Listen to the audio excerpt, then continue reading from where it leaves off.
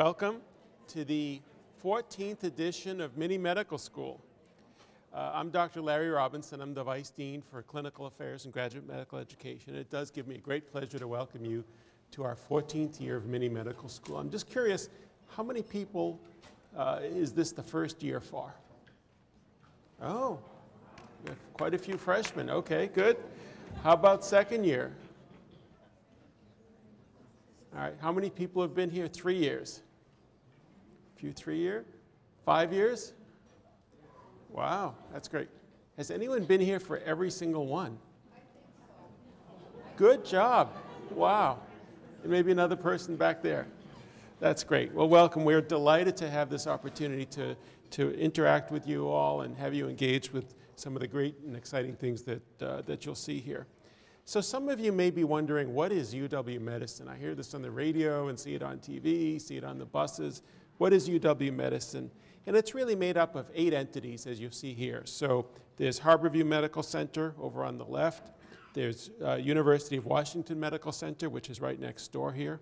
There's Northwest Hospital and Medical Center and Valley Medical Center. These are uh, two of the latest entities to uh, join us in UW Medicine.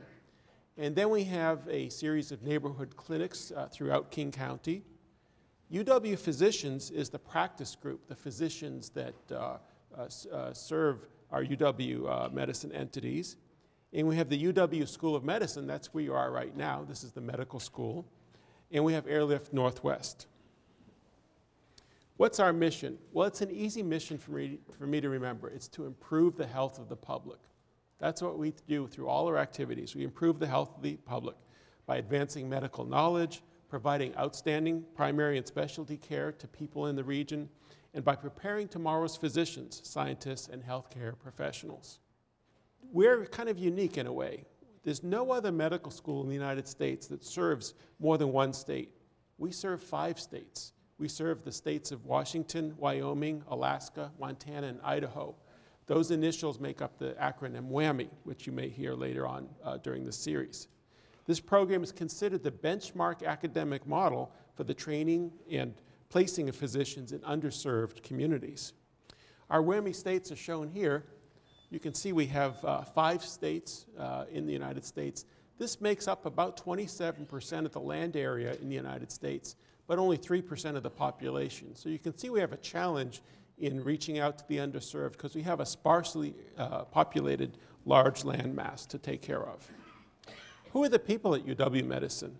Well, we have more than 25,000 staff who contribute to the mission of UW Medicine. We have about 4,500 students and trainees, and we have about 2,300 employed faculty members, that's the people that we uh, uh, pay and employ directly, and more than 4,600 clinical faculty members, volunteer faculty members across the five state region. Patient care is very active at UW Medicine. We have about 64,000 admissions per year to UW Medicine's four hospitals and about 1.6 million outpatient visits to our emergency rooms, our hospitals, and our clinics each year.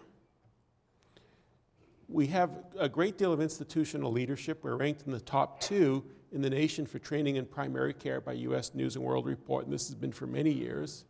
Our hospitals are ranked among the top medical centers by U.S. News and World Report. And our School of Medicine is consistently among the top three schools for the level of NIH uh, funding. Uh, we've been number two for quite a few years, just under Harvard. So why are we here? Well, what's our mission to, uh, during this series?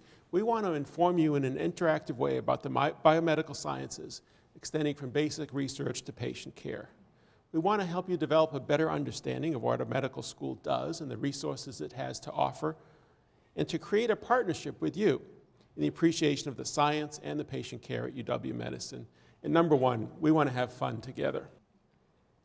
We're really pleased to welcome back for their third year, probably their final year because we don't like to uh, burden someone with too many years, third year of Mini Medical School co-hosts. And these two have been just great co-hosts. They were in medical school together, they've been friends together for a long time, and you'll really enjoy how they present uh, during this six uh, series, six lecture series. Uh, Edith Cheng and Dr. Terry Brentnall are the two co-hosts. Dr. Cheng is professor of obstetrics and gynecology in the School of Medicine and chief of service at UW Medical Center. She's also medical director at prenatal genetics and fetal therapy program here at UW Medical Center. Dr. Brentnall is the Walters Endowed Chair and Professor of Medicine and Gastroenterology at the UW School of Medicine, and she's an adjunct professor in the in Department of Pathology. She's the founder and director of the Pancreatic Cancer Surveillance Program here at UW Medical Center. Uh, Dr. Chen's, uh, Cheng's uh, clinical expertise is in prenatal diagnosis, genetics, and maternal cystic fibrosis, and in women and fetuses with genetic uh, conditions. She earned her MS in genetic counseling at Sarah Lawrence College in Bronxville, New York, and her MD at the University of Washington here, where she also completed her residency. She's received, received, numerous awards, including the prestigious UW Service Excellence Award, and she's been listed as a top doc in Seattle Magazine as well. This is her with her husband and family. Dr. Brentnall treats patients at UW Medical Center's Digestive Disease Center. She diagnoses and treats illnesses of the gastrointestinal tract, and she has a special, special expertise in the origins, origins of pancreatic cancer. She led a team's discovery that a specific gene, palladin, when mutated, is associated with one type of familial pancreatic cancer. Here she is with family members. Uh, her pancreatic surveillance program at the University of Washington is ongoing for over 13 years with 190 patients and 140 families. She also earned her medical degree from the University of Washington and completed her residency in internal medicine at UCLA Medical Center. The first year that they were co-hosts, Julie had their two medical student pictures side by side up here. They won't let me show those again, so you won't see them this year. But you'll find them if you look, there's a series of pictures from medical students just outside in the hallway, and I'm sure you can find them. Tonight we're going to talk about meditation and hypnosis, and I'm going to turn it over to our co-hosts. So please have fun, uh, enjoy, enjoy the series. Thank you. I get to go first? Oh hi. No. I'm Terry. Hi. This is Ida. Uh, hi. I'm. This is Tina Fey and uh, Poehler. Poehler. yeah. So we want to uh, first of all uh, say how great it was the Seahawks won. Yes. And uh, I'm wearing my Seahawks tiara tonight. And I have to say that my I have a big fa extended family on the East Coast, you know, and they they are Eagles fans. And for the first time, I can say that we are on the map, right? Yeah, we are. We are on Did the you map. say our bird beat your bird? Yes, we did. Yeah. And you know what is it? We're we're being looked at for the next um, the Super Bowl site because of our what 12th man. Our, yeah, we got some so, 12th mans here. So I'm very excited. Now, tonight, uh, we're going to sort of ease you in. I, I, saw that many of you are new, and I, I think you'll find that uh, you're, you're going to love this. Uh, we're going to ease you into it in a very gentle way. We're going to talk about meditation and hypnosis tonight, the mind, and how it has a lot of uh, management over the body. And I thought one of the really interesting things that we're going to talk about tonight is sort of management of cravings, cravings using your yes. mind. And uh, Larry was talking earlier about a lot of land mass, and I know over the holidays I got a big ponderosa. so we'll learn how to manage that kind of thing. So without much ado, we're going to have uh, Edith present our first speaker.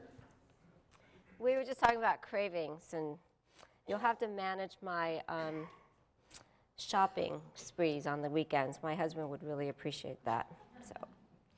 So. We're going to begin with Sarah Bowen, and she's going to talk to us about meditation and hypnosis.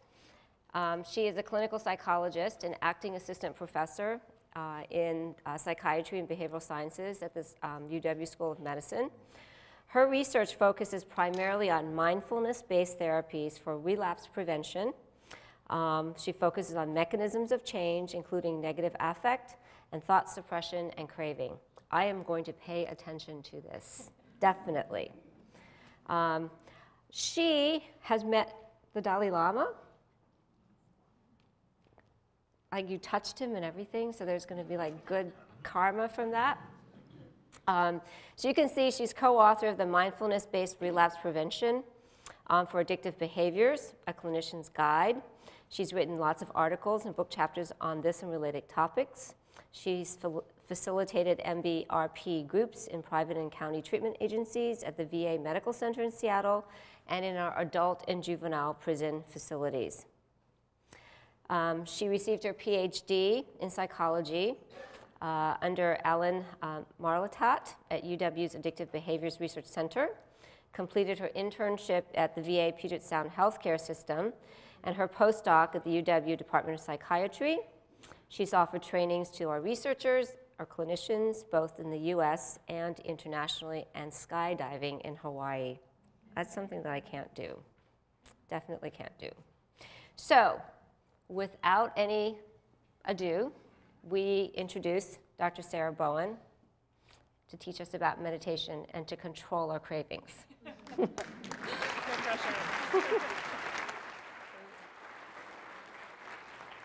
So I just want to say thank you so much for the invitation. Um, this is such an exciting program. It's an honor to be part of this. Um, and as mentioned, I want to talk tonight about uh, meditation, mindfulness and meditation. I'm going to be talking a lot about how that relates to treatment of addiction and working with craving because that's uh, my background. That's what I've been studying.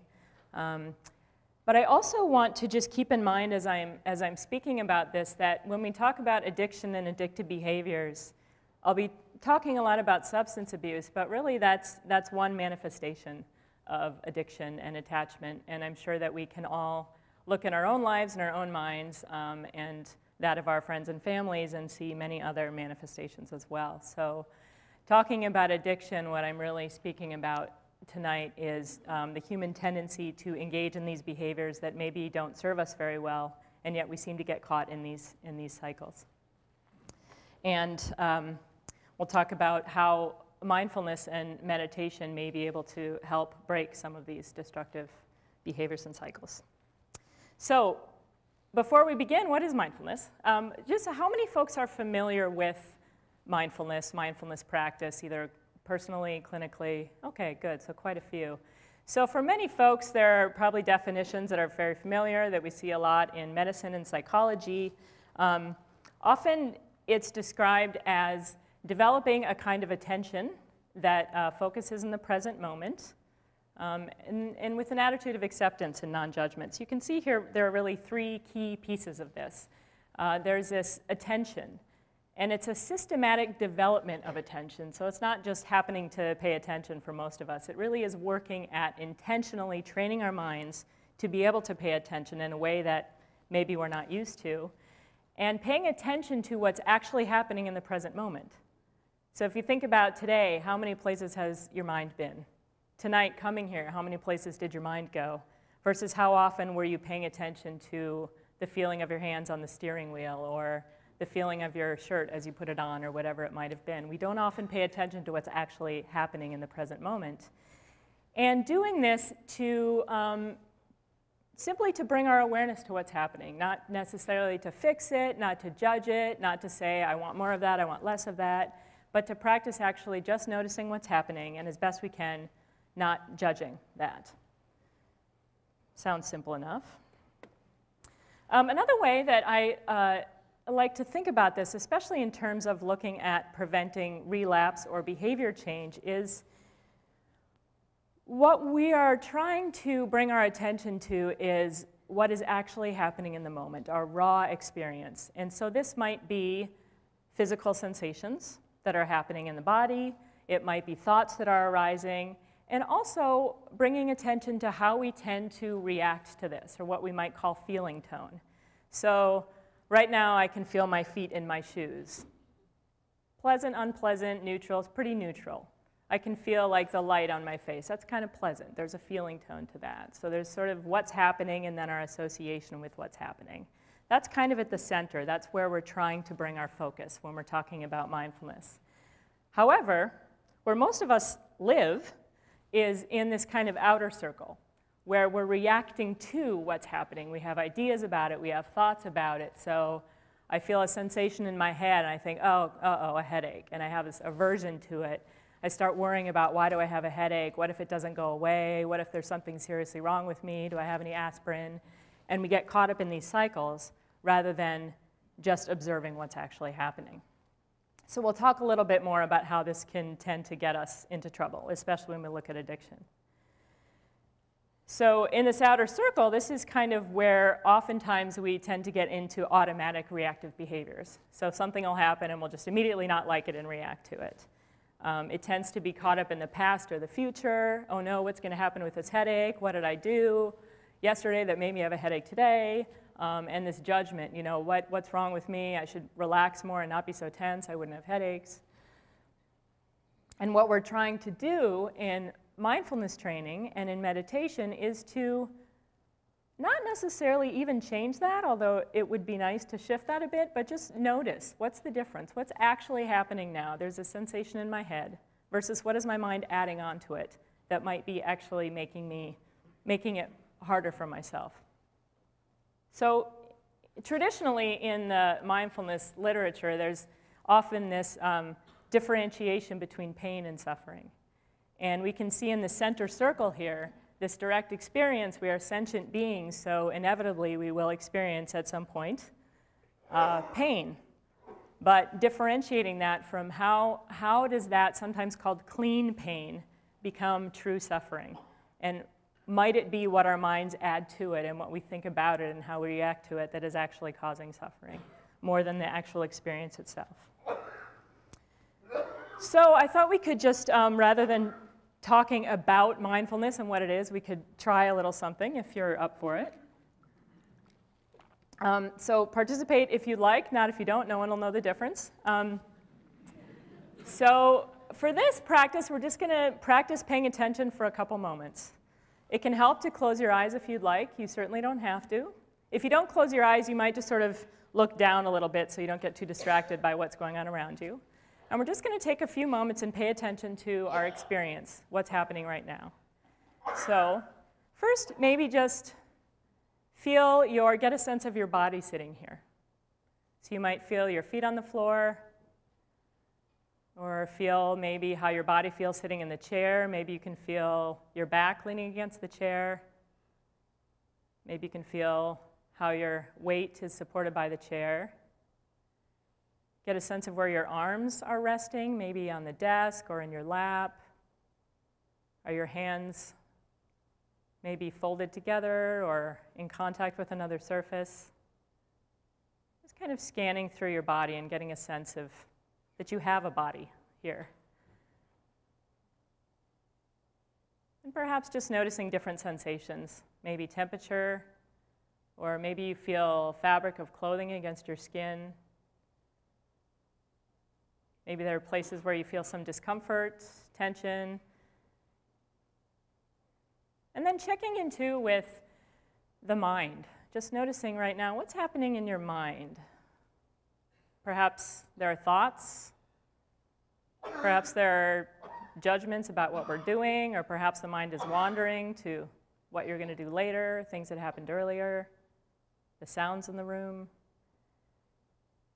Maybe the mind is racing, maybe it's foggy, maybe there are ideas about where you'd rather be. Just noticing whatever's happening in the mind right now. And then taking a moment to check in with how you're feeling. Maybe there's one feeling or emotion that's present, maybe several, maybe none. Sadness or peace or content, restlessness. And then taking a moment to just come back to the body again and notice that as you're sitting here, without any effort on your part, your body is breathing, hopefully. So there's nothing you need to do to control your breath. Just take a moment to notice that as you sit here, the breath is coming in and out naturally. And see if you can just bring your attention to those sensations. So you might notice the air coming in through the nostrils and feel what those sensations are like the temperature, the friction. Or perhaps you notice the chest and the belly rising and falling as you inhale and exhale. So just choose one place in the body where you feel the breath the clearest and follow those sensations with your attention. Just seeing if you can follow the sensations of the in breath and the out breath. And then if the eyes are closed, you can just allow them to open. Okay, so great. This is the practice. This is what happens. This is what we do. We say, mind, I'd like you to go here and stay on this target. The breath. Simple. That was a, a few minutes, right? And then here's that element when we looked at the definition of, of paying attention, okay, in the present moment. So inevitably what happens? The attention wanders. Oh, my pants. Sometimes it doesn't. Sometimes it stays. Oftentimes it, it wanders pretty immediately. It's like a puppy. It's just like you ask it to stay, it goes. You ask it to stay, it goes, right? So we notice this. Oh, my attention's no longer on my breath. And we begin again. Okay, let that go. Start over again and return again to the present moment, okay? And this with a non judgmental attitude. So, oftentimes, what can happen is well, let me ask did anyone have a judgment about themselves when their mind wandered off of the, off of the breath? I see a few nods out there. Oftentimes, it's like, oh, no, come on, come on, come on, come back.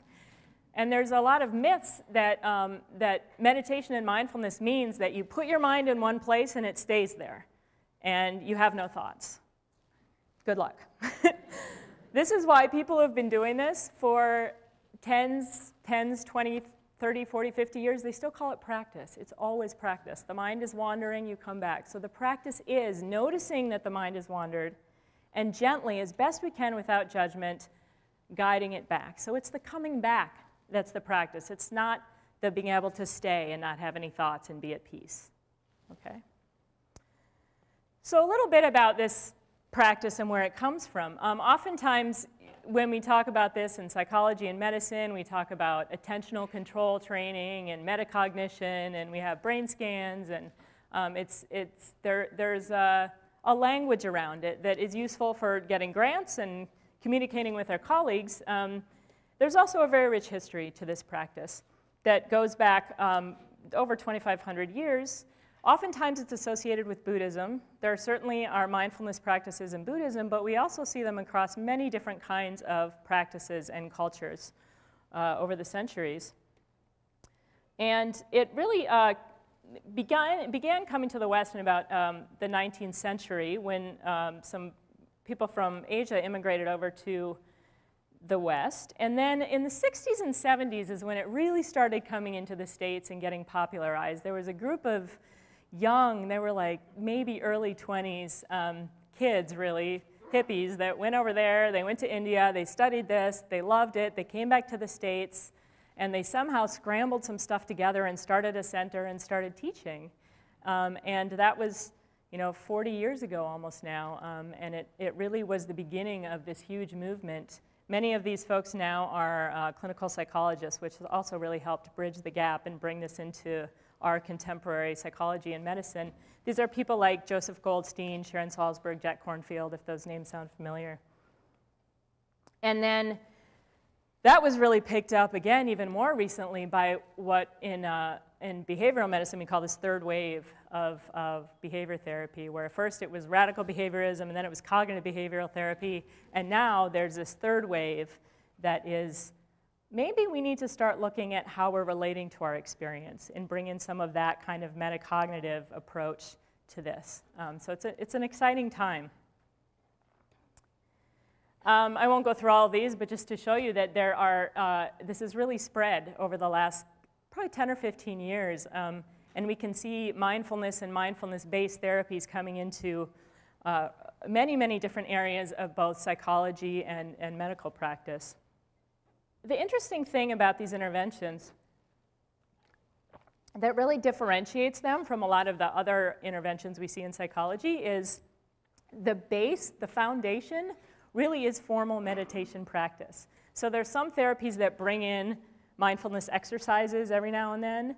This um, school of therapies that's emerging that's called mindfulness-based therapies really have at the foundation from day one meditation, formal meditation practice like we just did.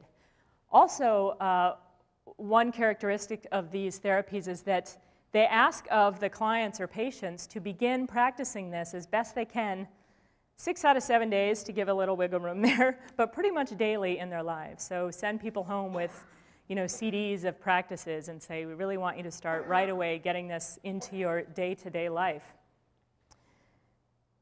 So some of the interventions you see now, I'm sure many folks are familiar with MBSR, mindfulness-based stress reduction. Originally, um, that was uh, uh, created by Jon Kabat-Zinn to work with people with chronic pain. About 10 years later, um, Zindel Segal and colleagues adapted that to work with people with major depressive disorder um, to help them not relapse. And then here at UW, uh, working with Alan Marlatt, the late Alan Marlatt, we began to adapt those, uh, those kinds of formats and practices to work with addiction. So as I mentioned, this really started with uh, mindfulness-based stress reduction. How many folks are familiar with that program? Okay, a few, great. Um, and this really was the first program that brought these meditation practices into a recognizable Western context. So Jon Kabat-Zinn was working with chronic pain patients who really had tried everything um, and, and had come to a place in their lives where they needed to accept that this is what they were going to be living with. And um, Dr. Kabat-Zinn took them in and said, okay, you're going to live with this the rest of your life. How, how can we help you still have a good life? and help you to relate to this differently. And secularize these practices in a way that they really hadn't been before. They'd been uh, in the context a lot of times of Buddhism. And he said, you know, that what we're doing is watching the mind here. And that, that can sometimes be a barrier to have it in a sort of religious context. So let's take these practices out that are really just watching our mind, observing our experience, and bring them into a context where they can be helpful to a broader, um, a broader population of people. And as I mentioned, um, here there's, there's several studies now of MBSR. It's kind of been around the longest. Um, a lot of them sort of pilot in nature, but overall uh, that showing that they really have a um, pretty promising effects on both how people are relating to their illness and actually the symptoms of their illness. Zindel Segal and colleagues uh, started recognizing that this could be very useful in helping people deal with the kind of cognitive patterns that we often see in depression and specifically depressive relapse. So oftentimes people with major depression will, um, will go into remission and then something will happen in their lives where they have a, a sad mood and they immediately click into an old sort of rut of thinking of like, oh no, I'm getting sad again, this is going to start again, and they kind of go on this cycle down. Um, and he thought that this might be a really useful way for people to start observing that pattern in their own mind and have some agency over that.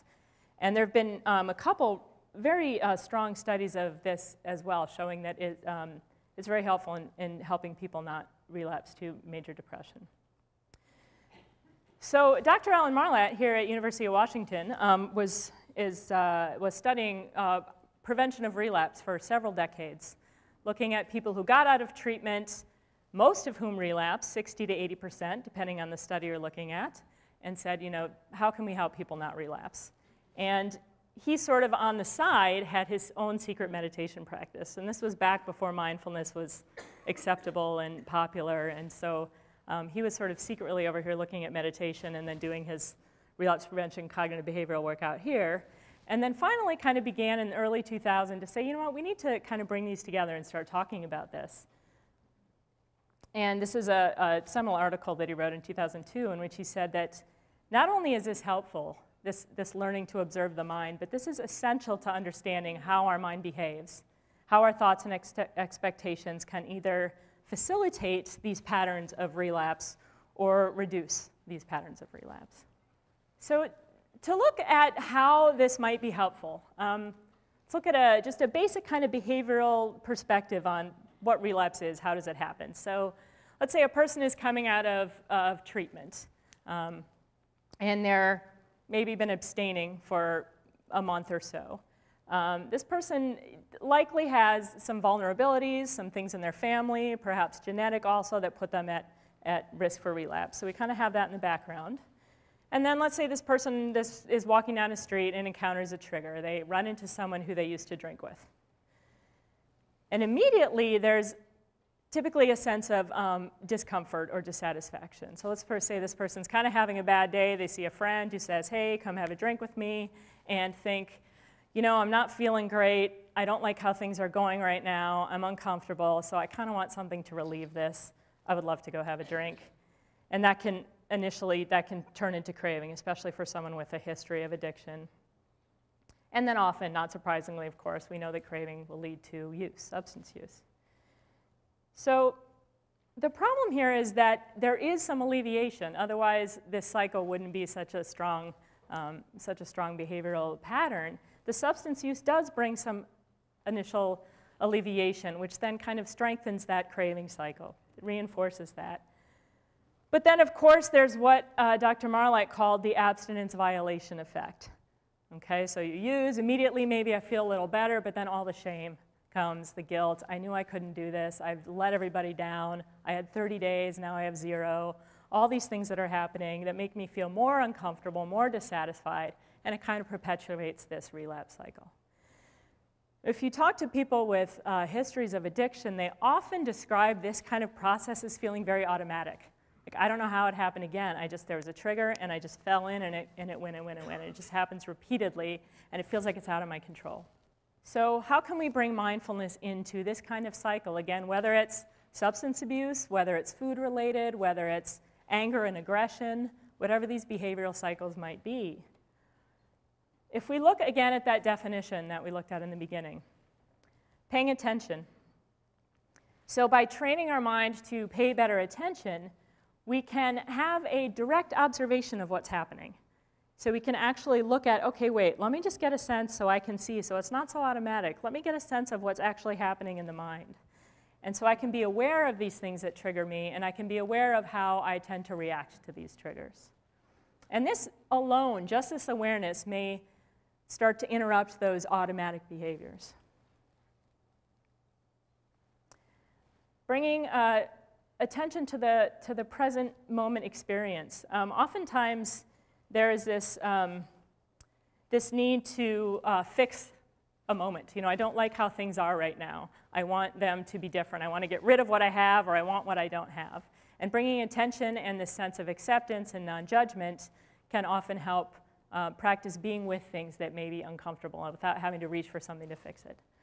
Another way that we work with mindfulness in addictions is um, craving has shown, I mean, we know this intuitively, but of course we need a bunch of data to back it up. But there are many studies, of course, that show that craving leads to substance use. Craving leads to relapse. Craving is a big problem and is often seen as sort of the enemy in addictions. Um, so by, by taking a closer look at craving, all right, what am I actually experiencing when this big monster of craving comes up. Okay, what is craving actually made of? It's some thoughts, it may be some physical sensations in the body, there may be some emotions, and there's this urge to react to it. It has a sense of urgency to it. So we begin to, and when we work clinically with folks, we begin to teach them how to observe the craving rather than like, oh no, craving, I have to get rid of it. Like, okay, wait a moment, what's actually happening here? Oh, it's some thoughts, sensations there's an urge.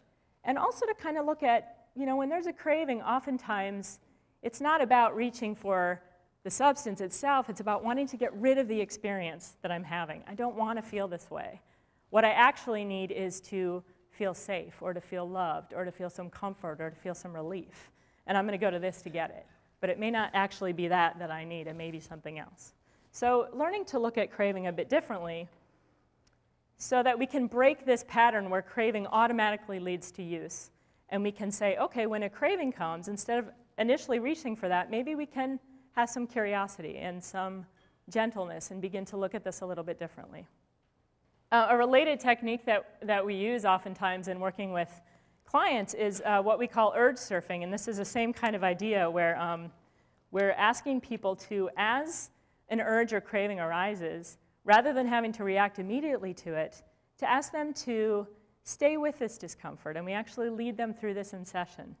So we have them kind of elicit a, a craving or an urge and lead them through staying with it. What's it like to actually sit with that instead of react to it? And what's it like to stay with it, maybe using the breath as a way to kind of stay steady, and ride it, almost like you would ride a wave. Instead of trying to fight it or like getting wiped out for it or running from it, What's it like to just ride it? Because eventually it will pass. what the subjective experience often is, is that there's this intensity that's going to go up and up and up and up until I do something to make it stop. Grab for something to make this stop, otherwise, it's going to keep going. In reality, what we know is it looks more like this, right? It doesn't go up and up forever. It goes, it peaks. If we can stay with it, it will subside. And if we can be with this over time, what we know from perhaps our own experiences and from studies is that when we can be with something that's this triggering in a gentle way, the intensity of it also tends to decrease over time. So, just really briefly, I want to um, tell you about a couple studies that we've done. Uh, we started looking at this um, with a population of inmates in a, a, jail that was minimum security. Most people were there on substance related charges. And they were involved in a very intense meditation course called Vipassana meditation, um, in which they were asked to be silent for 10 days. They uh, were housed in a separate unit of the jail. They had to give up their cigarettes, they ate all vegetarian meals. Um, the guards were taking bets on how long they would last. um, and this wasn't specifically about substance abuse. This is a traditional practice that goes back thousands of years, and it was taught as such. So it didn't focus specifically on addiction, but a lot of the practice is about being with discomfort, like we were just talking about ways of being with discomfort without reacting, ways of observing what the mind and body does. And we followed these folks after they were released. They were there in fairly short sentences. So, three months after they were released, um, I'll hear a little bit about our sample here. Um, we, uh, we wanted to see what, what was going on for them. Um, a caveat here this wasn't a, a randomized study, it was quasi experimental. Uh, so, we had a match control group basically. And here's the um, breakdown of the ethnicity and race of our sample, give you a little picture of, of what folks we are working with. Um, primary substance uses here were uh, marijuana, crack, alcohol. Uh, we found reductions on all of those at three months as compared to the control group, as well as reductions in the consequences of use. So even when they were using, they were getting in less legal trouble, they were having fewer um, health problems, they were using perhaps more responsibly. And we also found improvements in outcomes such as um, optimism, depression, anxiety, hostility. So we found that quite, uh, quite encouraging um, and wanted to find a way to, rather than have 10 day courses where you get up at 4 and meditate for 10 hours, find a way to bring this more into a context that might be uh, more attractive and feasible to many of our own patients and clients.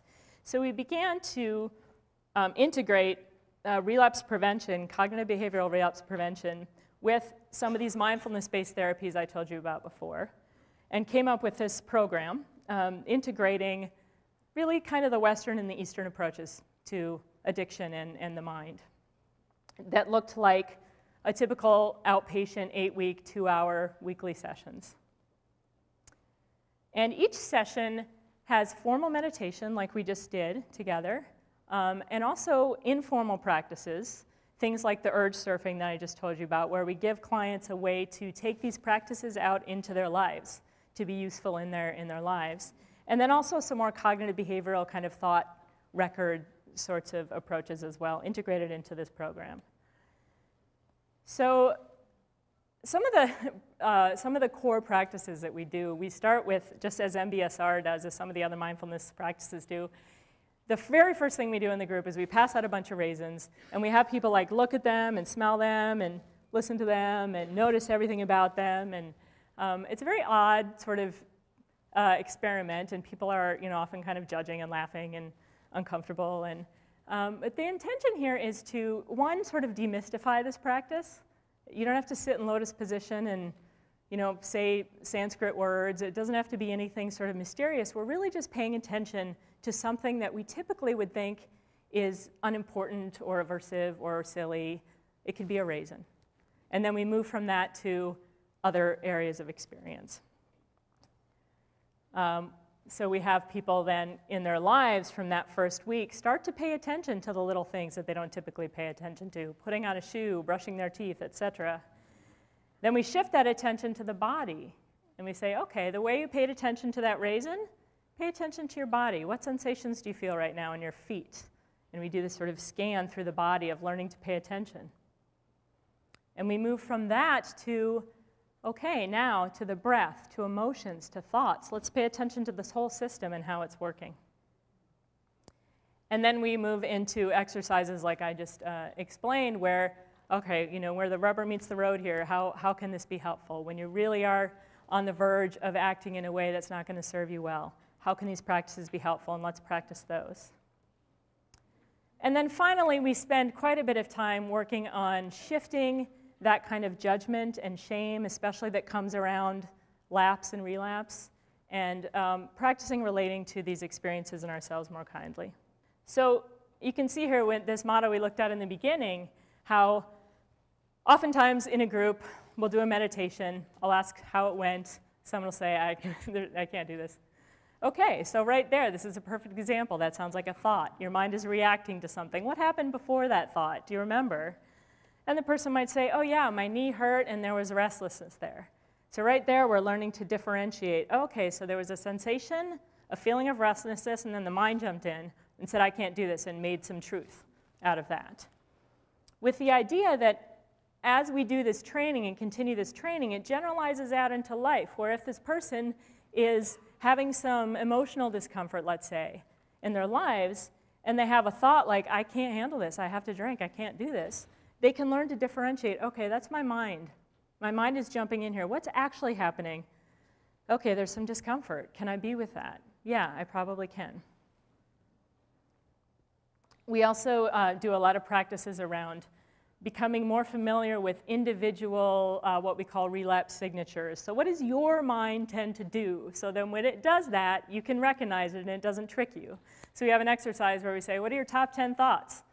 When your mind comes in and tells you these things. And by recognizing these, we can say, Okay, I, I recognize now. That's my mind coming in and telling me things. That's not necessarily true. And then looking at how this might play out in a typical relapse cycle. So, okay, you encounter a trigger. What do you think might happen? And learning how to kind of map out an individual signature so that it becomes recognizable when it, when it begins to happen. Um, I'm going to just move through this for the sake of time. Just a progressive training, basically, as I explained what we're doing from the beginning with the raisin up until really noticing behavioral patterns and much more nuanced um, kind of things that happen that might put people at risk for relapse. So just briefly, um, we've done a couple studies. We did one pilot study where we tested out this program and followed people for four months, comparing them to a treatment as usual program that was mostly 12 steps, psychoeducational, after they had come out of an intensive um, treatment. So we were looking after care. How can we help these folks not relapse? Um, participants here, again, just give you a snapshot of these folks. Many homeless, unstably housed. Primary drug was alcohol here. And one of our initial questions was, is this, does this make any sense? Can we really do this? Can we get people who, many of whom, like they're not even housed, you know, living in their cars or in group homes or are on the streets, and we're asking them to meditate? I don't know if that's going to work. Are they going to even show up for this? So we found that um, they tended to show up about on par with, um, with the other groups at this agency, so about 65% attendance. And we were really surprised at uh, the rate at which people did engage in the practice. Over the eight weeks, 86% of the folks said they did do these formal practices. We gave them CDs, we gave them CD players to play the CDs, we gave them whatever they needed to help support them. And even uh, two and four months after the course was over, still over half the people were reporting that they were engaging in these practices for about five days a week, about half an hour a day, the folks that were practicing. And then we looked at them four months later, um, and we compared the, the two groups, and we found that indeed folks in the mindfulness group had um, greater sense of awareness of their own processes and also a sense of acceptance. So remember those two, two of the things that we target in, in mindfulness is a sense of non-judgment and acceptance of experience and also awareness. And we also found uh, significant decreases in craving and substance use. Um, just to briefly say that we found a, um, a really interesting uh, relationship to depression. So that folks, when they were having difficult emotional experiences, those were still arising, but the folks in the mindfulness group versus a control group didn't have as much craving associated with that. So this suggests that they were able to be with that um, that experience of depression without immediately wanting to get rid of it with a substance. We did a, another trial very recently where we just got to do a, a little bit longer follow up, 12 months, and we got to um, compare three different groups so a cognitive behavioral group, and a mindfulness group, and a treatment as usual group, again at the same agency, so it was a 12 step based group. And um, our participants look primarily the same here, it was the same agency. And what we found over time here, you can see post course.